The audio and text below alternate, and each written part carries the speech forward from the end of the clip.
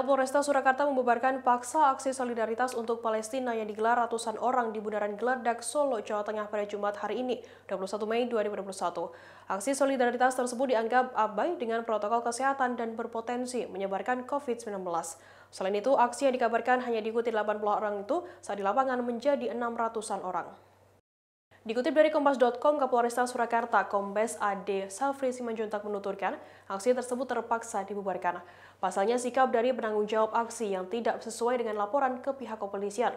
Ade menuturkan dalam pemberitahuan yang disampaikan ke pihak kepolisian, masa yang akan terjun adalah 80 orang.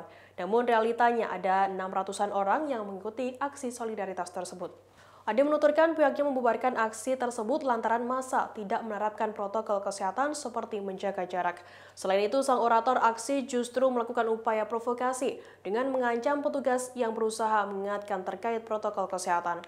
Ade menuturkan aksi yang sudah berlangsung selama 1 jam 45 menit itu lantas dibubarkan sekira pukul 14.36 menit waktu Indonesia Barat.